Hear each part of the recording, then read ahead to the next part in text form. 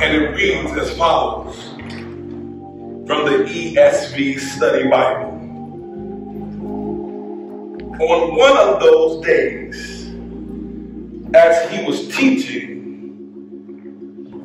Pharisees and teachers of the law were sitting there who had come from every village of Galilee and Judea and from Jerusalem. And the power of the Lord was with him to heal. And behold, some men were bringing on a bed a man who was paralyzed. And they were seeking to bring him in and lay him before Jesus. But finding no way to bring him in because of the crowd, they went up on the roof and let him down with his bed through the tiles into the midst before Jesus. I'm going to read it from the book of Mark.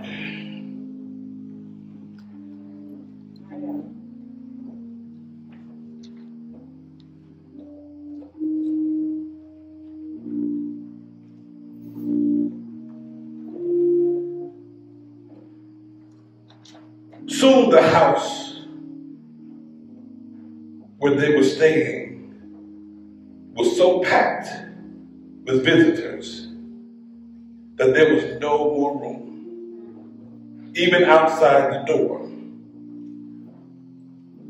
While he was preaching God's word to them, four men arrived carrying a paralyzed man on a mat. They couldn't bring him to Jesus because of the crowd. So they dug a hole through the roof above his head. The word of the Lord is blessed. They dug a hole in the roof above Jesus' head. Now, I know that was my mom's house. She would look, Reverend Slater, and simply ask this question who gonna pay for this? So for a few moments on today, I want to talk to you from the subject. Who gonna pay for this?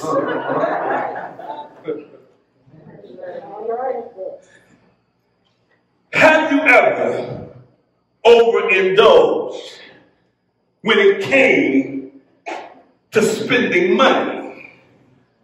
Because you simply had to have what you wanted to have. After you have overindulged because you simply had to have it, have you ever asked yourself, who gonna pay for this? Have you ever received a monetary penalty? We call that a fine. Associated with an offense imposed as part of a judgment and commitment for something that was not your fault. And it was beyond your control. When you see the cost attached to the monetary penalty, before you lose your mind, you ask yourself, who gonna pay for this? Have you ever been in Walmart or Target? And you go into the shopping situation to purchase one or a few selected items. Yet when you reach the checkout counter and you come to the realization that you have picked up more items than you anticipated, your bank account gently reminds you, who gonna pay for this? The Bible says, all have sinned and fallen short of the glory of God.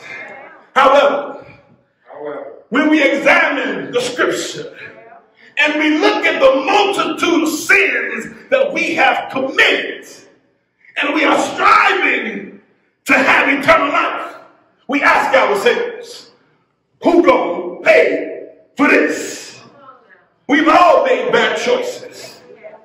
When we had the option to make good choices, and we find ourselves in the heat from the fire that we created, and we need someone to bring us out of the fiery storm that we have created for ourselves.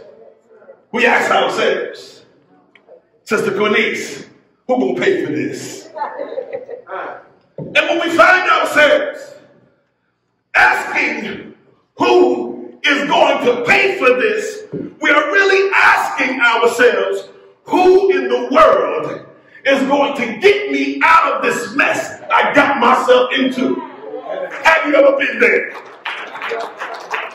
However, when we examine the book of Luke, we understand that Jesus is the one who paid for this. All the half five folks giving God praise up in here, up in here, because Jesus has paid it all. All to him I owe.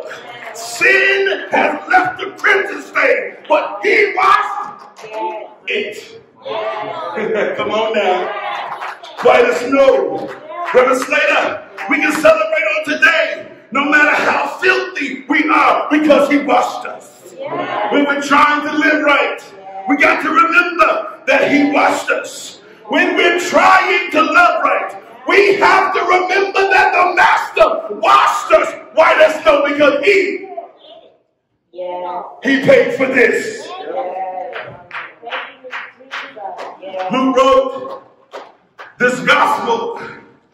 so his readers would understand that Jesus is for all people. The songwriter says, red, yellow, black, and white. They are all precious in his sight because Jesus is for all people. See, Jesus is the promised one of God as prophesied in the Old Testament. And what he accomplished serves as clear evidence of who he is. When we review the account in Matthew, Mark, and Luke, these accounts show us that the power of God is with him. He has the authority to forgive sins. He has the power to heal. The Son of Man has the sovereignty and supremacy to do exceedingly, abundantly, above all we can ask or think. However, my brothers and my sisters, we must have faith. And we know that Abraham, Abram, he believed the Lord, and the Lord counted him as righteous because of his faith. And faith is the substance of things hopeful and the evidence of things not seen. See, this faith is not just about knowing about Jesus, but it is knowing and wanting to know him more intimately for yourself. With the desire to be in him, to grow in him, and to be changed by him. Do you want to be in him? Do you want to grow in him? And do you feel the need to be changed by him on today? However, we understand by looking at the text that persistence in getting to Jesus is essential. Somebody missed that? You gotta be persistent with your pursuit, right? And know that you're healing and your possible deliverance is connected directly to your faith. Yes, yes, yes. Hallelujah. But before you trust, my brothers and my sisters, you got to listen. But unless Christ's word is preached, there's nothing to listen to. So it behooves us to incline our hearts to hear. However, let me hit you with this one. Because we have to do our part. And you do understand that as believers, Deacon Simpson, we have to do our part when it comes to making disciples and growing disciples. But see, I want to ask you these questions. How can people call for help if they don't know who to trust? How can they know who to trust if they have never heard of the one who can be trusted? And how can they hear if we don't tell them? And how is anyone going to tell them unless someone is sent to do it? In the text, we have a full church. It's a house, but it's a full church. And Jesus is the preacher for the hour. See, the text lets us know that there are many, so many people in the house.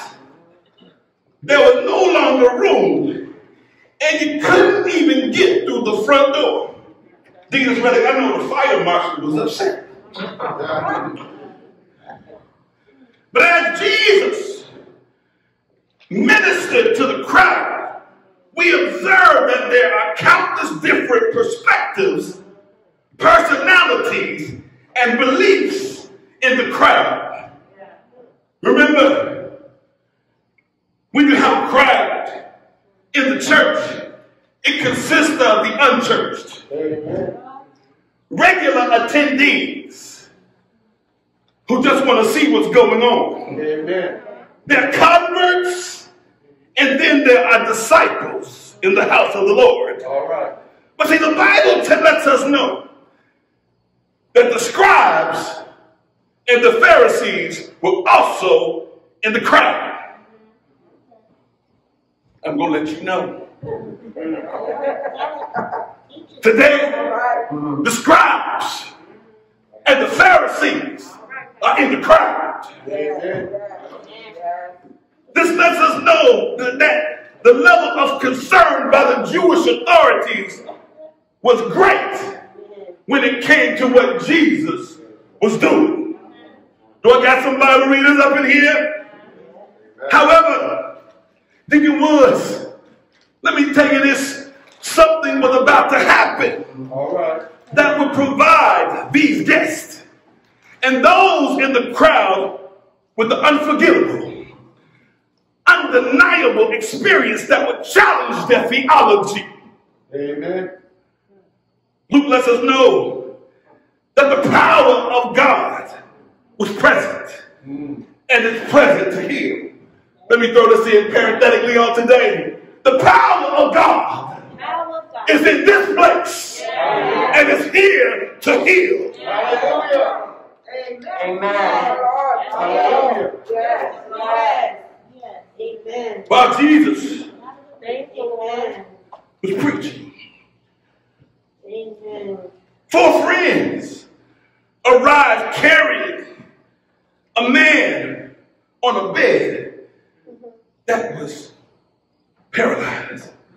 I want you to understand that there's a struggle sometimes to take care of friends who got issues. That homeboy, he had some issues. Let us understand that this paralyzed man was one of many who sought Jesus wherever he went.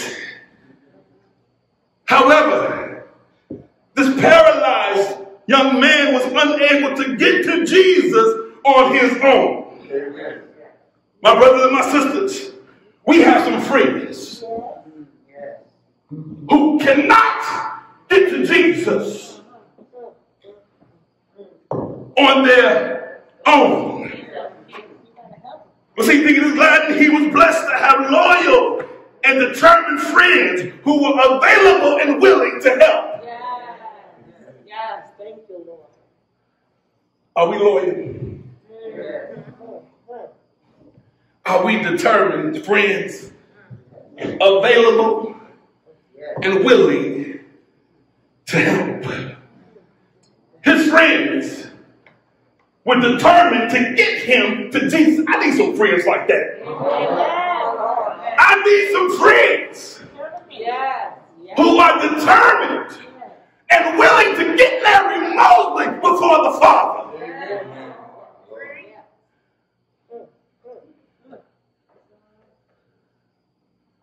But see, they couldn't get to Jesus because of the crowd. And often we cannot find our way to Jesus due to the distractions of the crowd and the distractions in the crowd. John MacArthur states, no one, are you listening to me? No one in the worship service would move aside to allow the man to carry him in. The crowd, church folks,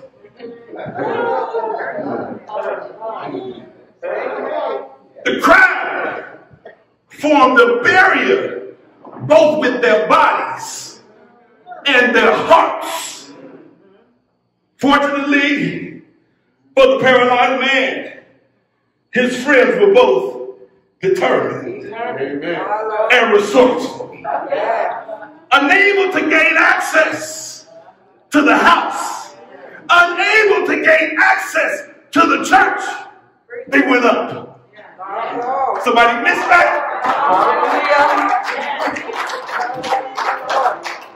Unable to get access to the house and the church, they went up. Sometimes, my brothers and my sisters, you just simply have to go up.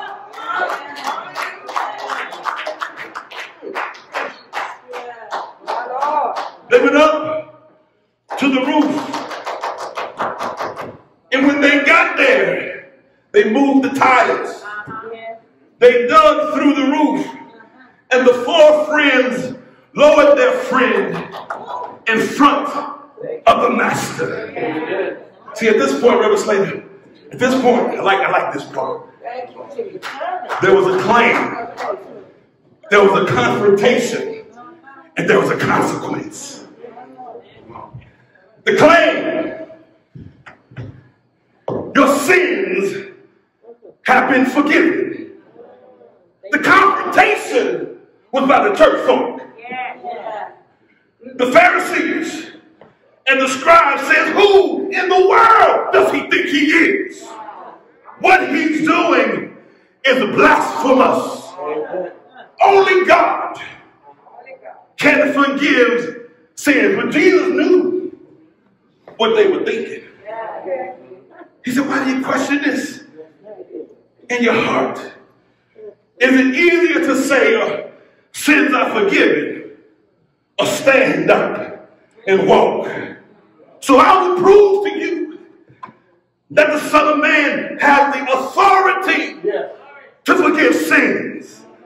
Then Jesus turned to the paralyzed man and said, Stand up, Take up your bed and go home. That was the confrontation. But then there's the consequence. Somebody looked at their neighbor and said immediately.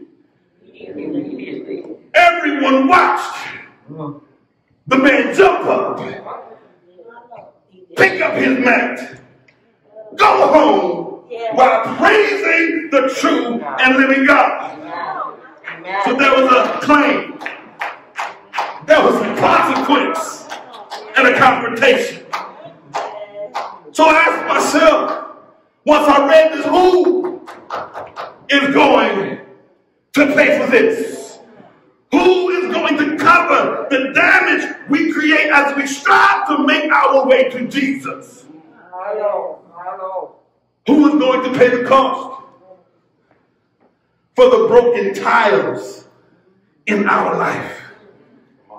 The answer is simply Jesus. Amen.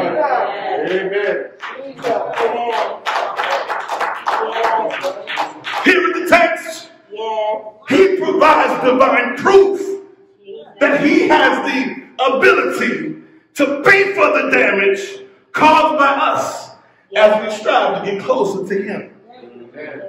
He proves he has the power to heal and the power to forgive sins. See, number one, Jesus saw faith at work.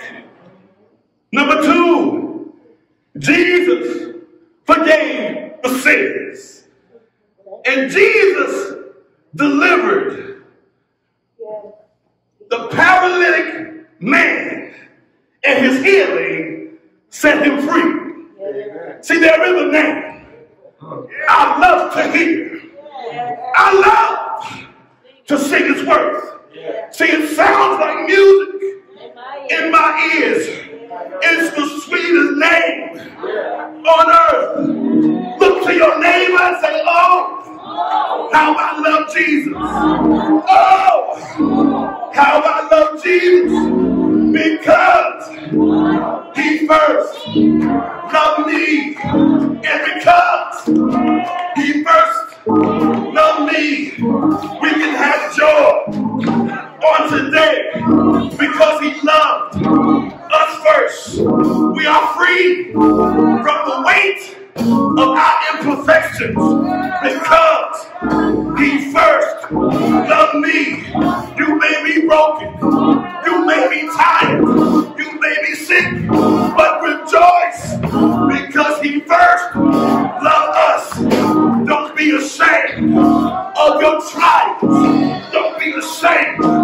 What? you're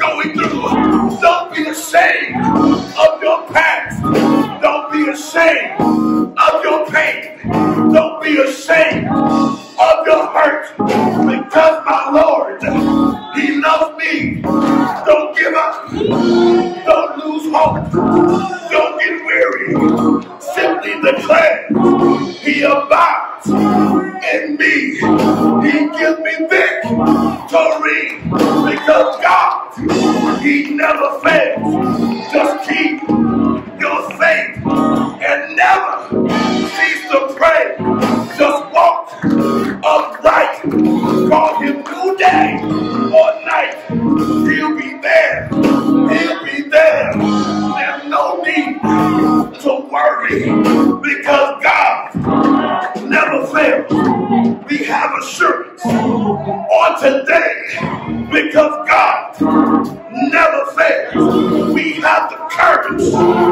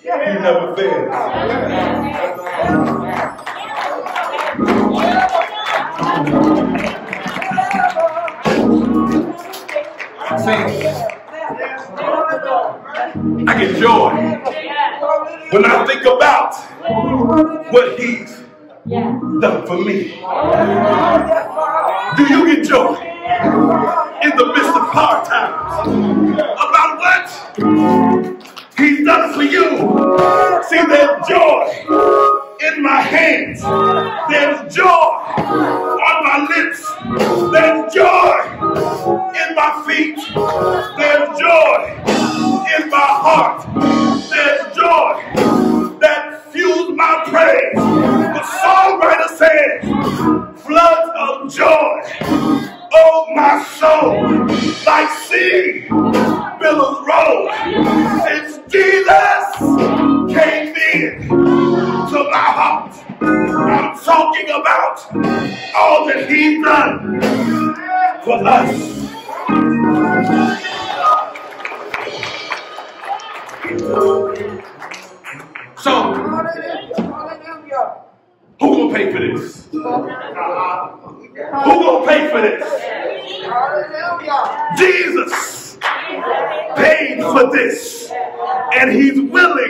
To pay for this. See, I'm gonna say it one more time, and I'm gonna leave you alone. Jesus provides divine proof that he's able to pay for the damages caused by us as we strive to grow in him. He proves he has the power to heal and forgive sins. He saw faith at work. He forgave the transgressions.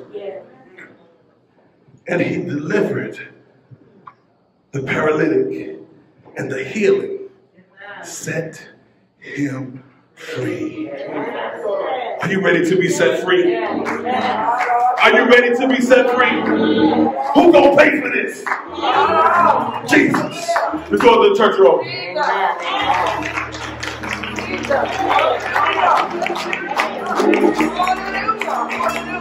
you're ready for Jesus to pay for this, the doors of the church are open. He's willing. He's able. He will carry you through. Just ask the Savior to help you. Comfort, strengthen, and keep you. He is willing. He will carry you through. The doors of the church are open. We'll be right